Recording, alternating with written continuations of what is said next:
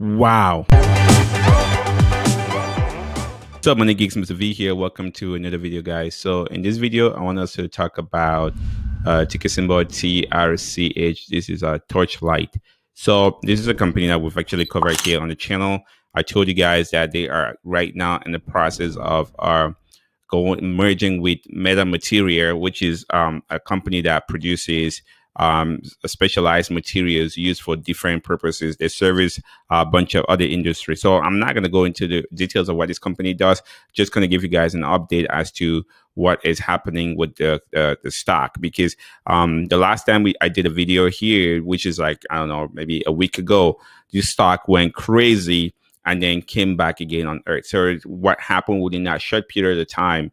Um, did any of you guys take advantage of it? So that's what we're going to talk into this video. But if, before we get started, guys, if you're new to the channel, we talk about how to earn money, how to save money, how to invest and build wealth. So that's something that interests you. Go ahead and hit that subscribe button and the notification bell so you don't miss out on new content.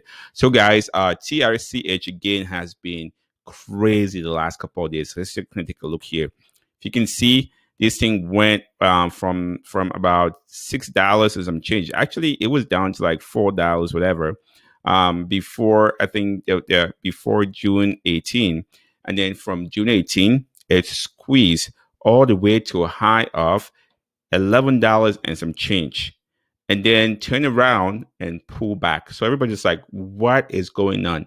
Um, some people, if you were in this stock and then you saw that first squeeze that went up to like six dollars, took a little bit of profit, and then it kind of just went crazy from there, like almost doubled from that six dollar price point. And and I kept uh, a lot of you guys reaching out. It's like, hey, be careful with this stock. If you can secure profit, because this thing is going to pull back. That was not uh, a normal move.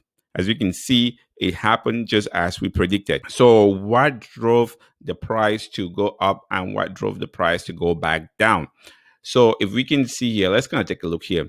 If you can see here, before um, June 22nd, where we talked about it, um, they had announced that they were going to raise uh, a uh, hundred million dollars. So you can see in stock offerings, and so the market didn't really you know, punish them for that.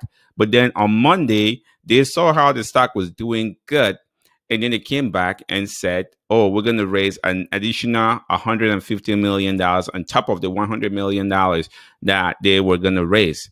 And so the market didn't like that, not one bit. And you can see here, um, the stock actually just took a like a, a punch in the gut on Tuesday.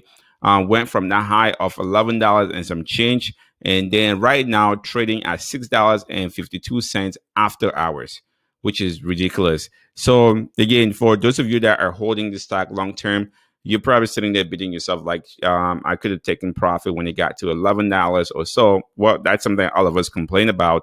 Um, but again, this is going to pull back and then reestablish itself because long term, I still like Torchlight um, merging with uh, Meta Material because I think that business model right there is going to change uh, Torchlight Energy. They're going to uh, go from being uh, kind of like a fossil fuel company to now being a clean tech a company, which I really like. So to me, that that's a that's a no brainer. But again, movements like this, if you have a if you have a, an account that you use for day trading or swing trading, that's where you make all these uh, rapid moves. But if you want, you have a permanent account where it's just for buying.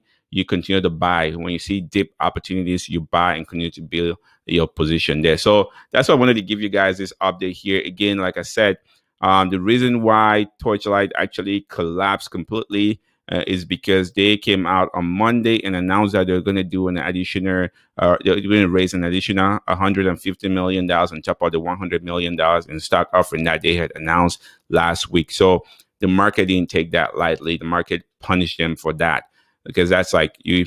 I mean, I don't blame the company for taking advantage of the stock uh, spiking um, and uh, making this offering, but most people, when you see that, uh, investors, they see that that they don't they don't appreciate it. So that's why they took that bidding. So let me know in the comment section what you guys think. Again, my personal take here is this is a, a stock that you should hold long term. Uh, right now, it's not a time to buy if you're looking to hold long term. Wait for those dips, guys.